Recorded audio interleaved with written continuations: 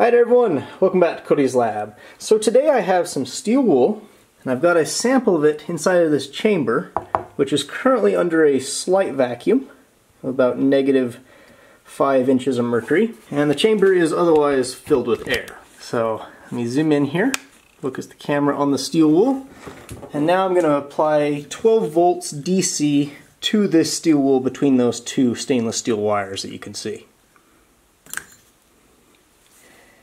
As you can see, the steel wool burned a little bit. Uh, the electricity provided enough heat to cause the iron to melt and oxidize in the air, and that reaction uh, was self-sustaining for a little while. If I had a larger piece of it together, I might could get it to burn a little bit longer. But now, let's try taking another similarly sized piece of steel wool, putting it in there, but this time let's do it with pure oxygen. Same pressure, but the atmosphere will contain no nitrogen. Okay, you can see that I've vacuumed out the chamber. Now I'm going to use my torch here to backfill it with pure oxygen. There it is. Now if you'll recall from my previous videos, the reason why I'm not fully pressurizing the chamber is because I don't want it to blow the door off because this will generate some heat and gas expands when it heats up. Let me hook my battery back up to the system. Here it goes. 12 volts being applied to steel wool in an atmosphere of pure oxygen. Safety squints engaged.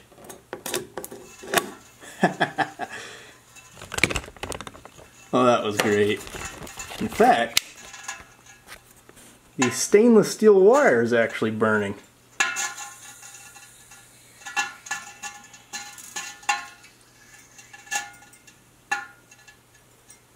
I think I'm going to add air now. okay. Can't say I was expecting the stainless steel to burn. I mean, this is very thick, and stainless steel is notoriously hard to burn. But I guess in pure oxygen it will. it's crazy. Okay.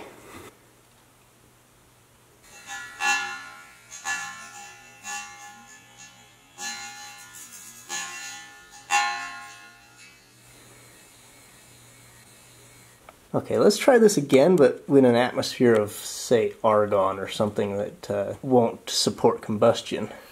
So you can see I've got a cylinder of argon here that I'm using to fill up the chamber. Once again, we're going to stop it at uh, negative 5, just so we're consistent.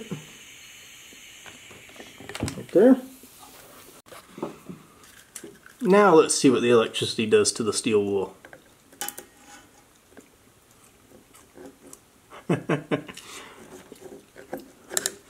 So here's a piece of that stainless steel wire. Let me heat this up with a blowtorch.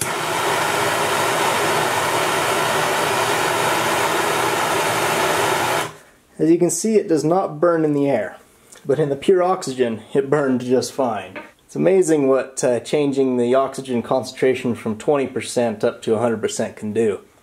Uh, the reason it does this is uh, you're not having to heat up all that inert nitrogen.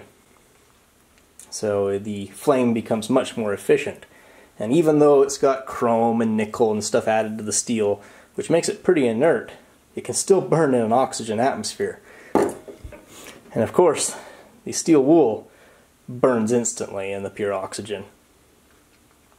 And you wouldn't normally expect iron to burn, but it does, especially if you make it very fine and give it some O2. Anyway, hope you enjoyed. I'll see you next time. So for today's ending clip, I'm actually coming to you from the inside of a hotel room here in California because for the first time I am going to be attending VidCon. it's a little bit late now for you guys to get tickets. Uh, I'm not a feature creator, so I didn't feel the need to sell a bunch of tickets for them. But if you happen to already be coming and you see me, feel free to say hello.